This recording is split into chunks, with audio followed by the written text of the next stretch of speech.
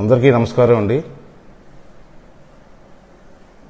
జగన్మోహన్ రెడ్డి గారి పరిపాలన ఇప్పుడు పద్నాలుగు నెలలు పూర్తయిన సంగతి మీ అందరికీ తెలుసు. మరి పద్నాలుగు నెలల పరిపాలన ఎలాగుందో మీరు చెప్పవలసిన అవసరం ఉంది. నాకైతే ఈ పద్నాలుగు నెలల పరిపాలన చూస్తే ఇది ఒక తొగ్లక్ పరిపాలనగా నేను భావిస్తున్నాను. మరి మీరేమనుకుంటున్నారో నాకు తెలియదు ఎందుకంటే ముఖ్యమంత్రి అయిన వెంటనే ప్రజావేదికని కూల్చిన సంగతి మీ అందరికీ తెలుసు. ప్రజావేదిక ఎందుకు కూల్చారో ఈ కూడా మనకు తెలియదు దానికి సరైన వివరణ కూడా ఇవ్వలేదు ముఖ్యమంత్రి గారు. ఎందుకు కూల్చవలసి వచ్చింది? కూల్చవలసిన అవసరం ఏముంది? చంద్రబాబు నాయుడు గారు సుమారు పద్నాలుగు పదిహేను కోట్లు ఖర్చు పెట్టి ప్రజావేదిక నిర్మాణం చేశారు. ఎందుకు చేశారంటే ప్రభుత్వం తాలూ కార్యక్రమాలు కానీ అధికారులతో మీటింగ్లు కానీ ఇవన్నీ కూడా చేయడానికి చక్కటి అవకాశం ఉంటుంది కాబట్టి మంచి టెక్నాలజీతోటి ఆ ప్రజావేదికను నిర్మాణం చేయడం జరిగింది. మీరు వచ్చిన వెంటనే ప్రజావేదికను కూల్చేసావు అది చంద్రబాబు నాయుడు సొంతం అదేమన్నా కాదే. ప్రభుత్వం డబ్బుతో కట్టినటువంటి ప్రజావేదిక. ఏ ప్రభుత్వం వచ్చినా దాన్ని వాడుకోవచ్చు. మళ్ళీ వచ్చిన వెంటనే ఎందుకు ఎందుకు కూల్చేయడం జరిగింది? ఇప్పుడు నీ ప్రభుత్వం ఉంది. అది ఉండి ఉంటే ఈరోజు మీరు ప్రతి ప్రతి కార్యక్రమం అక్కడ రివ్యూ చేసుకోవచ్చు కదా? అనేక కార్యక్రమాలు చేసుకోవచ్చు కదా? మరి ఆలోచన లేకుండా కూల్చావు మరి ఎందుకు కూల్చావు అనేది ప్రజలకు కూడా వివరణ ఇవ్వాల్సిన అవసరం ఉంది కదా? ఈ రోజు కూడా నువ్వు వివరణ ఇవ్వలేకపోయావు. అందుకే నేను తొగ్గులకు పరిపాలన అంటున్నాను. రెండోది ఏంటంటే అమరావతి రాజధాని. ఏ రాష్ట్రానికైనా ఒక రాజధాని ఉంటుంది కదా. అలాగే మన రాష్ట్రం విడిపోయిన తర్వాత చంద్రబాబు నాయుడు గారు ముఖ్యమంత్రిగా అందరి పెద్దలతో మాట్లాడి ఎక్కడ రాజధాని పెట్టాలి అని చర్చించిన తర్వాత ఇక్కడ ఈ ప్లేసులో గుంటూరుకి విజయవాడకి మధ్యన ఒక రాజధాని నిర్మాణం చేస్తే అది అందరికీ రాష్ట్రం అందరికీ పదమూడు జిల్లాలకు అందుబాటులో ఉంటుందని చెప్పి ఒక ఒక నిర్ణయం తీసుకోవడం జరిగింది. దానికి అమరావతి అని పేరు పెట్టడం జరిగింది. ఆ రోజు ప్రతిపక్ష నాయకుడిగా నువ్వు కూడా అసెంబ్లీలో చాలా గట్టిగా చెప్పావు. ఇక్కడే రాజధాని ఉండాలి అమరావతిలోనే రాజధాని ఉండాలి. ముప్పై మూడు వేల ముప్పై నాలుగు వేల ఎకరాలు ఉండాలి మంచి రాజధాని నిర్మాణం చేయాలి నేను సపోర్ట్ చేస్తానని చెప్పి ఆ రోజు అసెంబ్లీ సాక్షిగా నువ్వే మాట్లాడావు. అది అందరికీ తెలుసు. మళ్ళీ ముఖ్యమంత్రి అయిన తర్వాత మళ్ళీ మూడు రాజధానులను ఎందుకు తీసుకొచ్చావు? ఏ ఏ దేశంలో అయినా మూడు రాజధానులు ఉన్నాయా? లేవే. మరి కొత్తగా నువ్వు ఎందుకు పెట్టావు ఇది మూడు రాజధానులు? అసెంబ్లీలో మాట్లాడింది నువ్వే. మళ్ళీ మూడు రాజధానులు పెట్టావు. ఈవేళ ముప్పై నాలుగు వేల ఎకరాలు ఇచ్చిన రైతులందరికీ అన్యాయం చేస్తున్నావు. వాళ్ళ సంగతి ఏమిటి? ఒకసారి ఆలోచన చేయవలసిన అవసరం ఉంది కదా. ఇంత దౌర్జన్యంగా మరి ఆ, నిర్ణయాలు తీసుకోవడం తప్పు కదా. మరి మూడు రాజధాని నిర్ణయం అందరినీ కూర్చోబెట్టి నిర్ణయం తీసుకున్నావా? మరి ముప్పై నాలుగు వేల ఎకరాలు ఇచ్చిన రైతులకు ఏం చెప్తావు ఏం చేయాలనుకుంటున్నావు? అది కూడా క్లియర్గా చెప్పవలసిన అవసరం ఉంది కదా.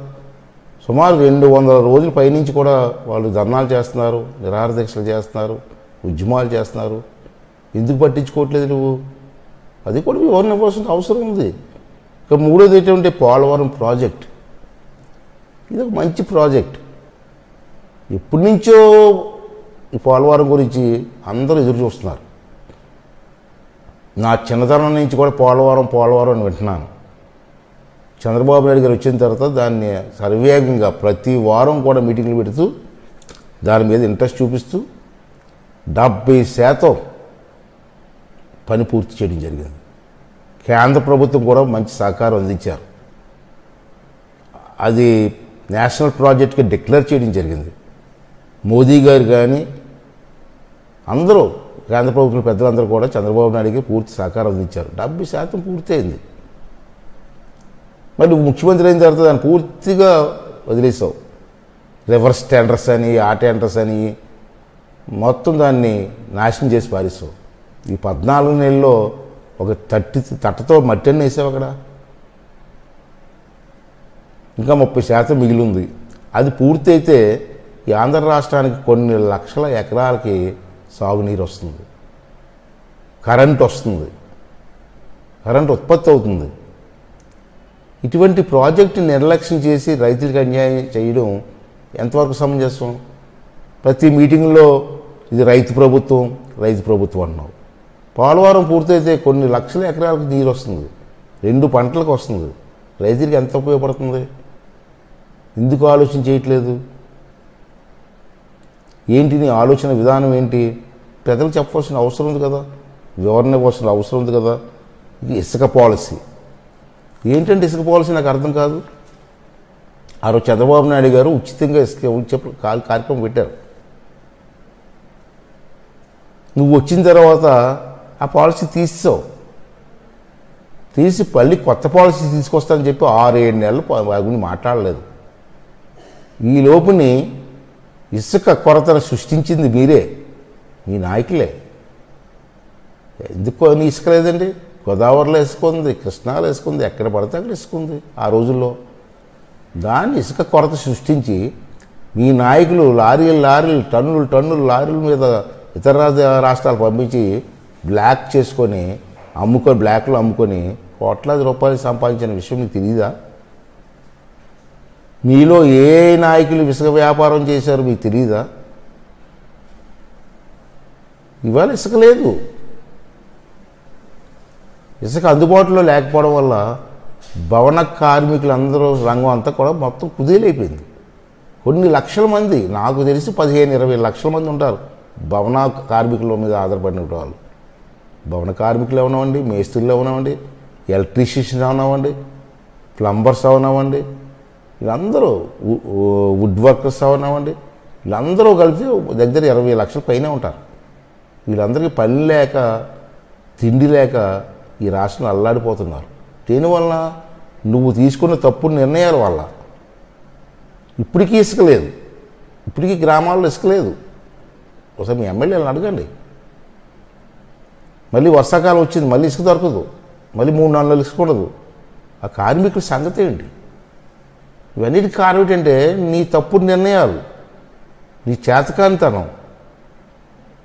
ఇవాళ ఎంతమంది సఫర్ అయ్యే పరిస్థితి వచ్చింది. ఒకసారి దాని మీద కూడా దృష్టి పెట్టవలసిన అవసరం ఉందని చెప్పి సందులో మనం చేస్తాం ఎక్సైజ్ పాలసీ ఏంటంటే ఎక్సైజ్ పాలసీ ఆ రోజు ఎన్నికల్లో మొత్తం బ్రాంతి షాపులు రద్దు చేస్తా అన్నావు? అసలు రాష్ట్రంలో లిక్కర్ లేకుండానే చేసేస్తానన్నావు. ఆడవాళ్ళకి మాట ఇచ్చావు ఇవాళ దుకాణాల్లో లిక్కర్ అమ్ముతున్నావు. ఏంటి ఆ లిక్కరు ఏంటి కొత్త కొత్త లిక్కర్లు ఎప్పుడూ ఎవరో విన్నట్టు లిక్కర్లు విషం. ఆ- ఆ లిక్కర్ ఎక్కడ తయారవుతుందో ఎవరికి తెలియదు ఆ లిక్కర్ తీసుకొచ్చి ఈవేళ బ్రాందీ షాపుల్లో చాలా విపరీతమైన ధరలకు అమ్ముతున్నావు. ఈవేళ వంద రూపాయలు కూడా లేనటువంటి నిబ్బుని రెండు వందల యాభై రూపాయలు మూడు వందల రూపాయలు అమ్మిస్తున్నాం. పేదవాళ్ళు తాగలేక అంత డబ్బు ఖర్చు పెట్టలేక ఈవేళ నాటుసారాకు అలవాటుపడ్డారు ఎప్పుడైతే నాటుసారాకు అలవాటుపడ్డారో ప్రతి గ్రామంలో కూడా ఇవాళ నాటుసార విపరీతంగా తయారవుతుంది. ఇవాళ నాటుసార తాగి కొన్ని లక్షల మంది ఆరోగ్యం పాడు చేసుకొని హాస్పిటల్లో జాయిన్ చేసే పరిస్థితి వచ్చింది. ఒకసారి అడగండి మీ ఆఫీసర్లు ఎంక్వైరీ చేయండి. ఎక్కడ చూసిన గంజాయి? గంజాయితో అరికట్టుకుపోవడం వల్ల యువత కురవాళ్ళందరూ చదువుకున్న కురవాళ్ళందరూ గంజాయికి అలవాటు పడి మొత్తం జీవితాలు పాడు చేసుకునే పరిస్థితికి వచ్చింది. ఇవాళ ముఖ్యమంత్రిగా నీకు బాధ్యత లేదా? ఎక్సైజ్ డిపార్ట్మెంట్ పోలీస్ డిపార్ట్మెంట్ కూర్చొని కూర్చోబెట్టి అరికట్టవలసిన బాధ్యత నీకు లేదా? ఇవన్నీ కూడా నీ తప్పుడు నిర్ణయాలు. ఎంతసేపు వాడి మీద పగ తీర్చుకోవాలా? వీడిని జైల్లో వేయాలా? వాడిని జైల్లో అని చూస్తుంది తప్పించి అడ్మినిస్ట్రేషన్ మీద ఉండే దృష్టే పెట్టట్లేదు. అందుకే ఇవన్నీ కూడా ఈ విధంగా జరుగుతున్నాయని చెప్పి ఈ సందర్భంలో మనం చేస్తున్నాను. అంతేకాకుండా ఇవాళ ఎవరైనా కరోనాతో జనం అంతా అల్లాడిపోతూ ఉంటాయి చేసుకోవడానికి పని లేక వ్యాపారాలు లేక జనం అంతా ఉంటే ఇటువంటి కరోనా టైంలో ఎవడైనా కరెంటు బిల్లు పెంచుతారండి? ఏ బుద్ధున్నవాడని సరే కరెంటు బిల్లు పెంచుతాడండి? మరి కరెంటు బిల్లు పెంచేవంటే నీ ఆలోచన విధానం ఏ విధంగా ఉంది? నీ పరిపాలన ఏ విధంగా ఉంది? మరి తొగ్గులకు పరిపాలన ఎందుకు బాధపడతారా దీనికోసం తొగ్గులకు పరిపాలన అంటున్నాం. అంటే ఇవన్నీ కూడా ఒకసారి మీరు రివ్యూ చేసుకొని జరుగుతున్న తప్పుల్ని మరి కంట్రోల్ చేసుకొని ముందుకెళ్ళవలసిన అవసరం ఉందా లేదని చెప్పి ఒకసారి ఆలోచించవలసిన అవసరం ఉందని చెప్పి మనం చేస్తాం. ఇంకా పేదలకు ఇల్లు. తెలుగుదేశం టైంలో అసలు పక్కా ఈ ఇల్లు నిర్మాణం మొదలుపెట్టిందే తెలుగుదేశం పార్టీ. నందమూరి తారక రామారావు గారి టైంలో కొన్ని లక్షల ఇల్లు కట్టాం. మొన్న ఈ ప్రభుత్వం రాకముందు కూడా ఐదు సంవత్సరాల్లో చంద్రబాబు నాయుడు గారు కొన్ని లక్షల ఇల్లు శాంక్షన్ చేయడం జరిగింది కట్టడం జరుగుతుంది. అలా కాకుండా అర్బన్ హౌసింగ్. పది లక్షల ఇల్లు పూర్తయిపోయి ఉన్నాయి. ఎనభై శాతం ఇల్లు పూర్తయిపోయాయి. Urban housing. ఆ రోజు కేంద్ర ప్రభుత్వ సహకారంతో రాష్ట్ర ప్రభుత్వ వాటాతోటి బ్యాంకులతో సహకారంతో సుమారు పది లక్షల ఇల్లు ఎనభై శాతం ఇల్లు పూర్తయిపోయి ఉన్నాయి. ఈ పద్నాలుగు నెలల నుంచి నువ్వు అసలు ఒక ఇటుక కూడా వేయలేదు. ఆ గమేల సిమెంట్ కూడా రాయలేదు. ఆ పనే మర్చిపోయావు. పది పది- పది లక్షల ఇల్లు మర్చిపోయావు. ఇవాళ దాని మీద బెనిఫిషరీస్ అందరూ కూడా అల్లాడిపోతున్నారు. డిపాజిట్లు కట్టుకున్నారు. వాళ్ళకి వస్తాయో రావో తెలియదు. ఎందుకు పద్నాలుగు నుంచి వాళ్ళకి ఇవ్వట్లేదు నువ్వు? ఆల్రెడీ ఎనభై శాతం పూర్తయింది కదా. కొన్ని వందల కోట్ల రూపాయలు ఖర్చు పెట్టారు కదా. దాన్ని ఎందుకు ఆఫ్ చేస్తున్నారు మీరు? అంటే ఇమీడియట్గా ఆ ఇల్లు పోయి ఆ ఇరవై శాతం ఇల్లు కూడా పూర్తి చేసి ఆ బెనిఫిషరీస్కి మీరు ఇవ్వాల్సిన బాధ్యత ఉందా లేదా? ఒకసారి ఆలోచన చేయమని చెప్పి కూడా ఈ సందర్భంలో మనం చేస్తున్నాను. ఈవేళ పార్టీ పార్టీ రంగులు. ఈవేళ మీరు ప్రభుత్వ బిల్డింగులకి మీ పార్టీ రంగులు వేశారు. అది ఎక్కడ నేను చూడలేదు ఫస్ట్ టైం చూడడం. ఎలా వేశారు? పదిహేను వందల కోట్లు ఖర్చు పెట్టి రంగులు వేశారు. కోర్టు మొట్టికాయలు పెడితే మళ్ళీ రంగులు తీసేయడానికి పదిహేను వందల కోట్లు ఖర్చు పెట్టారు. అంటే సుమారు మూడు వేల కోట్ల రూపాయలు రంగులు వేయడానికి తీయడానికి ఖర్చు పెట్టారు. ఎంత డబ్బు పా పాడు చేశారని మీరు? మూడు వేల కోట్లు బూడిదలో పోసిన పన్నీరు చేశారు కదా. అదే మూడు వేల కోట్లతో ఒక మంచి ప్రాజెక్ట్ నిర్మాణం చేయొచ్చు కదా. విశాఖపట్నం జిల్లాలో సుజల స్రవంతి కార్యక్రమం ఒకటి ఉంది ప్రాజెక్ట్. ఆ రోజు ఎన్టీ చంద్రబాబు నాయుడు గారు శంకుస్థాపన చేశారు. దాన్నే సుజల స్రవ ఉత్తరాంధ్ర సుజల స్రవంతి బాబు జగజ్జీవన్ రావు ప్రాజెక్ట్ ఒకటి ఆ రోజు శంకుస్థాపన చేయడం జరిగింది. ఆ మూడు వేల కోట్లు దానికి పెట్టుంటే ఈ రోజు ప్రాజెక్ట్ పూర్తవును కదా. ఆ ప్రాజెక్ట్ పూర్తయితే లక్షా యాభై వేల ఎకరాలు నీరు వచ్చి రైతుకు ఉపయోగపడింది కదా. అనవసరంగా మూడు వేల రంగులు పోల పెట్టారు తప్పించి ఆ మూడు వేల రూపాయలు మూడు వేల కోట్ల రూపాయలు దీన్ని పెట్టుంటే ఆ ప్రాజెక్ట్ పూర్తయితే రైతులకు మేలు జరుగుతుందన్న మంచి ఆలోచన మీకు రాకపోవడమే మా దురదృష్టం అని చెప్పి ఈ సందర్భంలో మనం చేస్తాను ఇకపోతే ముఖ్యమైనది పేదలకి ఇల్లు స్థలాలు ఇస్తారని చెప్పి చెప్పారు. ఓకే మంచి కార్యక్రమం. ఈ ఇళ్ళ స్థలాల కోసం మీరు భూములు సేకరిస్తున్నారు. ఆ భూములలో కూడా డబ్బులు కూడా ఇస్తారండి తక్కువ రేటుకు ఉన్న భూములకి ఎక్కువ రేటు ఇచ్చి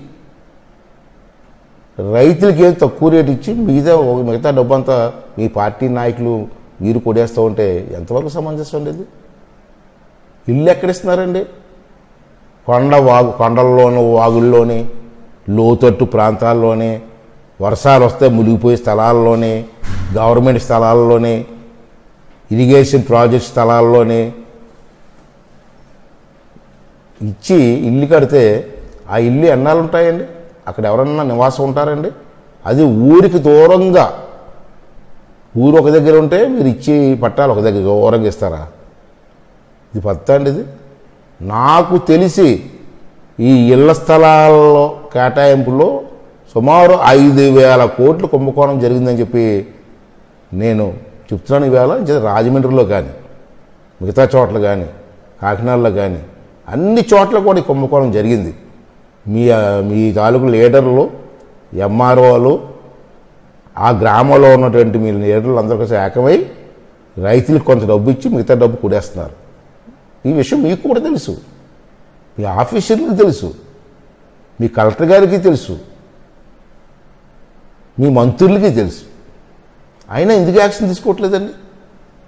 ఒక పక్క డబ్బు లేదు డబ్బు లేదు అన్నావు. ఎప్పుడు లేని అప్పు చేస్తావు. రాష్ట్ర వచ్చిన తర్వాత పద్నాలుగు నెలల్లోనే బోల్డ్ అప్పు చేసావు రాష్ట్రాన్ని అప్పులు పాలు చేస్తావు. ఒక పక్క అప్పులు పాలు చేసేస్తున్నావు ఒక ఒక పక్క డబ్బులు కూడా వేస్తున్నావు. మీ పెద్దలందరూ. మరి మీ మంత్రుల మీద మీ నాయకుల మీద ఎందుకు యాక్షన్ తీసుకోలేకపోతున్నారండి? రోజు టీవీలో వస్తుంది పత్రికల్లో వస్తుంది. మరి ఎన్ని తెలిసి కూడా మీరు మౌనంగా ఉంటే అసలు మీ తాలూకు ఉద్దేశం ఏంటి? ఈ ఐదు సంవత్సరాల్లో రాష్ట్రాన్ని మొత్తం ఖాళీ చేయించేస్తారా? మొత్తం అప్పులు పాలు చేస్తారా? ఏంటి మీ ఉద్దేశం? ఇది కూడా ప్రజలకు వివరణ ఇవ్వాల్సిన అవసరం ఉందని చెప్పి మనం చేస్తున్నాం. ఇకపోతే ఆఖరిది సంక్షేమ పథకాలు రద్దు. మీరు వచ్చిన తర్వాత ఈ పద్నాలుగు నెలల్లో సంక్షేమ పథకాలు అంటే బీసీలకు కానీ ఎస్సీలకు కానీ ఎస్టీలకు కానీ మైనార్టీస్ కానీ అన్ని కులస్తులు బీ బ్రాహ్మిన్స్ కానీ అన్ని అన్ని వర్గాల వారికి బీసీ సంక్షేమాలు ఉంటాయి. దానికి ఒక బడ్జెట్ ఉంటుంది. మీరు వచ్చిన తర్వాత పద్దెనిమిది వేల కోట్ల పథకాలని రద్దు చేస్తారు పద్దెనిమిది వేల కోట్లు పథకాలు ఈ పద్నాలుగు నెలల్లో. అవన్నీ ఎవరి అండి చిన్న చిన్న వర్గాల వారి. బీసీలు కానీ ఎస్సీలు కానీ ఎస్టీలు కానీ. అంటే నువ్వు పెద్ద కబుర్లు చెప్తావు బీసీలు నా వాళ్ళు ఎస్సీలు నా వాళ్ళు ఎస్టీలు నా వాళ్ళు ఈ పద్నాలుగు నెలల్లోని పద్దెనిమిది వేల కోట్లు పథకాలు రద్దు చేసావంటే నీకు వాళ్ళ మీద ఎంత ప్రేమ ఉందో ప్రజలు కూడా అర్థం చేసుకోవాల్సిన అవసరం ఉందని చెప్పి ఈ సందర్భంలో మనం చేస్తున్నాను. ఇవాళ చిన్న విషయం చెప్పాలి మీకు. పద్దెనిమిది పంతొమ్మిది సంవత్సరంలో బీసీల సంక్షేమం కోసం తెలుగుదేశం ప్రభుత్వం ఆరు చంద్రబాబు నాయుడు నాయకత్వంలో ఆరు వేల నాలుగు వందల ప- పంతొమ్మిది కోట్లు ఖర్చు చేసాం ఆరు వేల నాలుగు వందల పంతొమ్మిది కోట్లు బీసీల వర్గాల గౌరవాల కోసం మేము ఖర్చు చేసాం ఆ రోజుని ఆ సంవత్సరంలో. మీరు వచ్చిన తర్వాత మ- మరి పంతొమ్మిది ఇరవై బడ్జెట్. మీరు వచ్చారు అప్పటికి. మీరు వచ్చిన తర్వాత అదే సంక్షేమానికి మూడు వేల మూడు వందల ఎనభై రెండు కోట్లు మాత్రమే ఖర్చు పెట్టారు. మీరు ఆరు వేలు ఖర్చు పెడితే మీరు మూడు వేలు ఖర్చు పెట్టారు. అంటే సకాల సగం కూడా మీరు ఖర్చు పెట్టలేదు. అంటే దాని అర్థం ఏంటంటే రెండు వేల ఏడు వందల అరవై ఏడు కోట్లు తగ్గించారు మీరు వచ్చిన సంవత్సరం. మరి బీసీలకు అంత చేసాం అంత చేసాం ఎలా చెప్తారు మీరు? క్లియర్గా ఇది బడ్జెట్ లెక్కలు ఇవి. ఇక ఆంధ్రప్రదేశ్ గవర్నమెంట్ ఇచ్చిన బడ్జెట్ లెక్కలు ఇవి. ఇది మేము తప్పుగా మాట్లాడింది కాదు. ఇది క్లియర్ కనబడుతుంది. ఇది చూసేనా బీసీ వాళ్ళు ఇలా ఆలోచన చేయాలి కదా. బీసీ వర్గాలు ఆలోచన చేయాలి కదా. మరి ఎందుకు ఆలోచన చేయరండి? ఈ పప్పు బెల్లాలు ఇస్తే సరిపోతుంది మీకు? ప్రజలు కూడా ఆలోచించండి. పప్పు బెల్లాలు ఇస్తే సరిపోతుంది మీకు? చేత ప్రజలు కూడా ఇవన్నీ కూడా ఆలోచన చేయవలసిన అవసరం ఉందని చెప్పి నేను భావిస్తున్నాను. అంతేకాకుండా ఇటువంటి బుర్ర తక్కువ నిర్ణయాలు తీసుకొని ప్రజల్ని ఇబ్బంది పెట్టొద్దని చెప్పి ముఖ్యమంత్రి గారికి ఈ సందర్భంలో నేను మనం చేస్తున్నాను. అంతేకాకుండా ప్రజలు కూడా ఆలోచన చేయాలి. ఒక్క ఛాన్స్ ఇవ్వండి. ఒక్క ఛాన్స్ ఇవ్వండి అని అడిగితే రాష్ట్ర అభివృద్ధిని మీ పిల్లల భవిష్యత్తుని చూడకుండా మీరు కూడా ఓటేసి గెలిపించారు. అవునా కదా? ఒక్క ఛాన్స్ ఇవ్వండి అనుబదికి ఈ పిల్లల భవిష్యత్తుని కూడా మర్చిపోయారు మీరు. మీరు ఓటేసి గెలిపించారు. మరి ఈవేళ ఏమైంది? జగన్ పా పరిపాలన వలన రాష్ట్రాభివృద్ధి సర్వనాశనం అయిపోయింది. రాష్ట్రం అప్పుల పాలైపోయింది. అయిపోయింది దేశంలో మన రాష్ట్రానికి రాజధాని లేని రాష్ట్రంగా నవ్వుల పాలు అయిపోయాం ఇది వాస్తవం కాదా? ఇది వాస్తవం అయితే దీనికి కారణం ఎవరు? ఓటేసి గెలిపించిన మీరా? లేక మీరు గెలిపించినట్టు జగన్మోహన్ రెడ్డా? అసలు ఆలోచించేయండి. దీనికి కారణం ఎవరు? ఓటేసి గెలిపించిన మీరా? మీరు ఓటేసి గెలిపించినట్టు జగన్మోహన్ రెడ్డి గారా? మీరు ఆలోచించుకోండి. ఈ నాలుగు మాటలు మీకు చెప్పాలనే ఉద్దేశంతో ఈరోజు ప్రెస్ కాన్ఫరెన్స్ జరిగింది. ఒకసారి ఆలోచన చేయవలసిన అవసరం ఉందని చెప్పి ప్రజలందరికీ మనం చేస్తూ మరొకసారి మీ అందరికీ నమస్కారం తెలియజేస్తున్నాను. నిరంతర వార్తల సమాచారం కోసం మా వి న్యూస్ ఛానల్ సబ్స్క్రైబ్ చేయండి. నోటిఫికేషన్ కొరకు బెల్ ఐకాన్